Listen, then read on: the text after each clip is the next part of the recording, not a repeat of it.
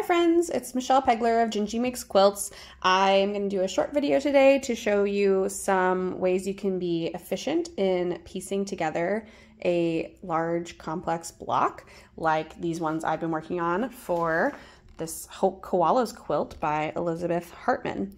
So this is a very fun pattern to put together, although it's pretty intimidating uh, before you start because every one of these koala blocks is 72 individual pieces of fabric. Um, there's just so many little uh, squares and rectangles and you know corner corner triangles you have to put on. So it's it's pretty daunting. Um, but Elizabeth Hartman, the genius that she is, has designed this block to go to go together actually pretty easily. Um, there are only a couple spots where you have to match up seams where like the points should theoretically match. So there's a couple here uh, at the top of the head where the ears come off and then another one here at the neck. But other than that, pretty much none of the other seam intersections matter. Like it will look good even if um, they are not quite where they should be. So that is very cool uh, that I learned after starting this block. Um, another thing that I really like about this block is that her cutting directions and I've blocked out all of the dimensions on here. Don't want to share um, her intellectual property.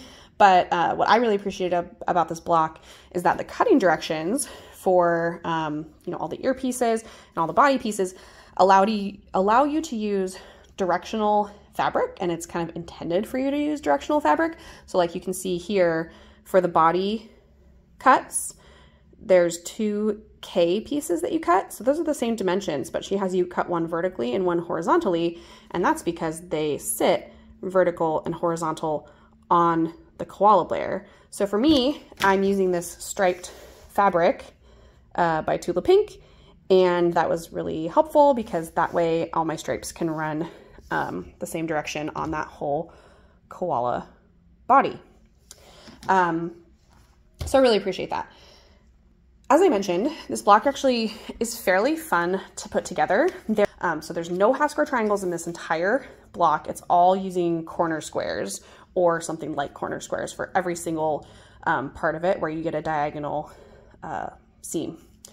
So the pattern will tell you to, um, you know, first work on putting the face pieces together and then get the whole head together and then it tells you, okay, now work on the, the arms and getting the body parts together, then work on the trees um, until you can, you know, ultimately put the whole block together in these big chunks, right?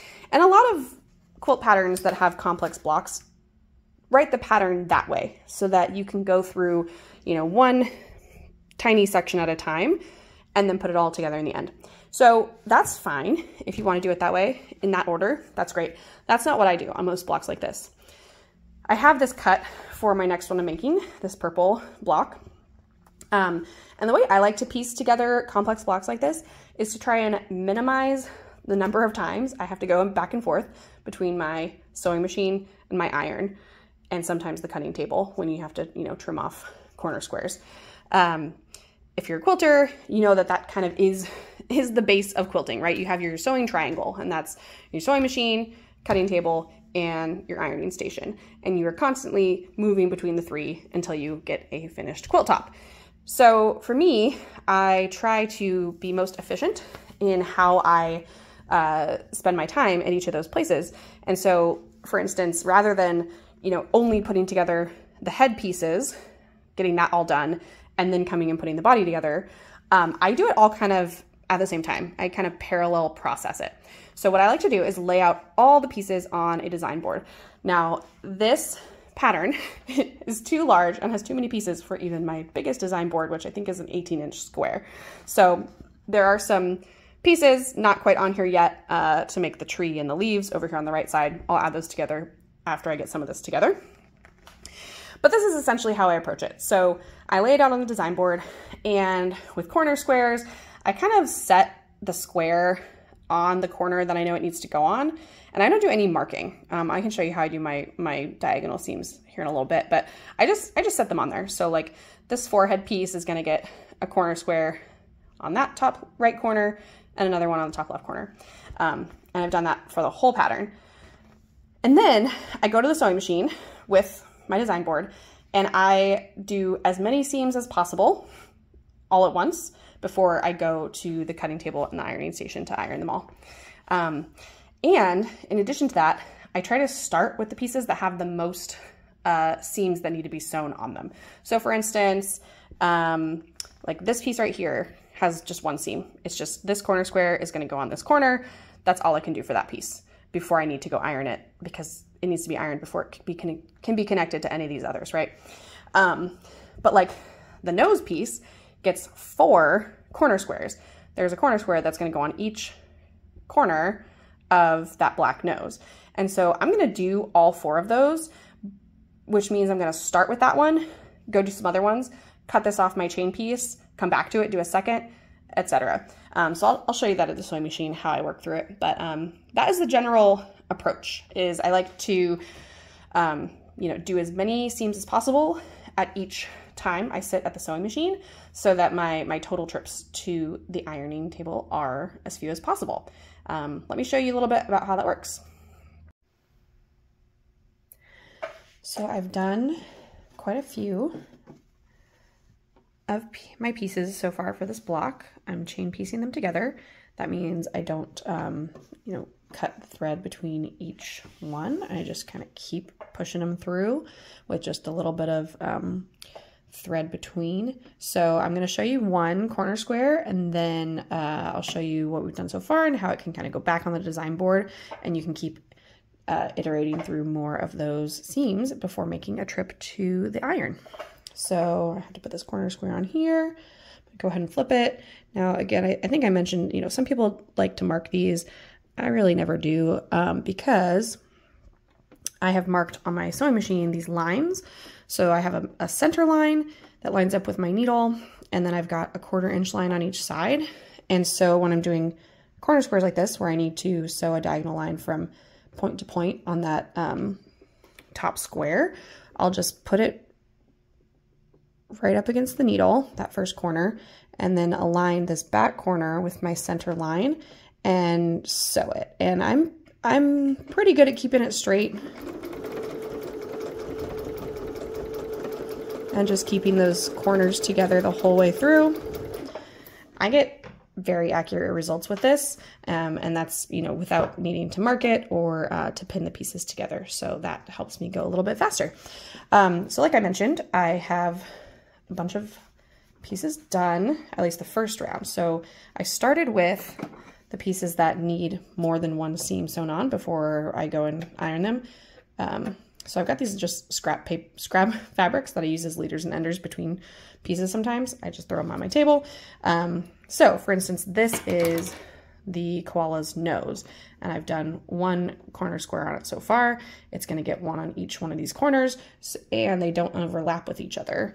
Um, so you're able to do all four at once before going to trim off the corner that you don't need and then iron uh, the seams open. So what I do is I just, you know, cut these all apart with the, the scissors I keep right next to my sewing machine.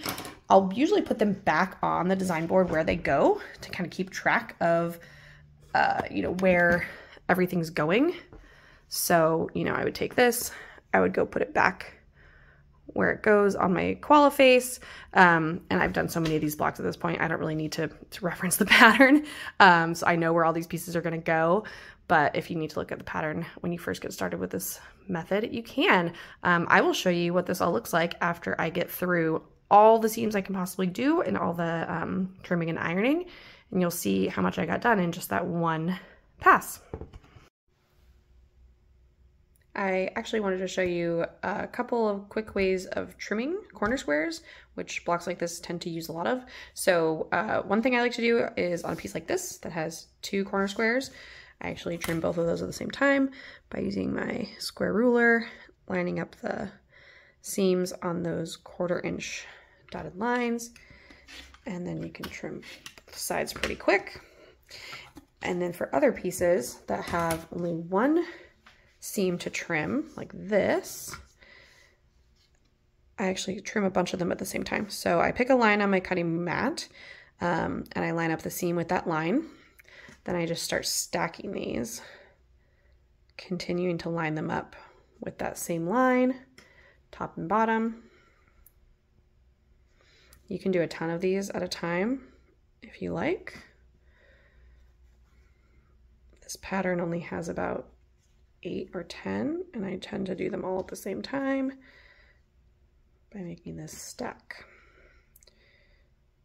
So once I have them all stacked up, again, I bring my ruler over, line up my quarter inch line on the ruler with that seam line all the way down, hold it really tight. There's some pretty thick fabric layers here, so I push a little harder than normal to make sure they don't budge as I trim all of them off.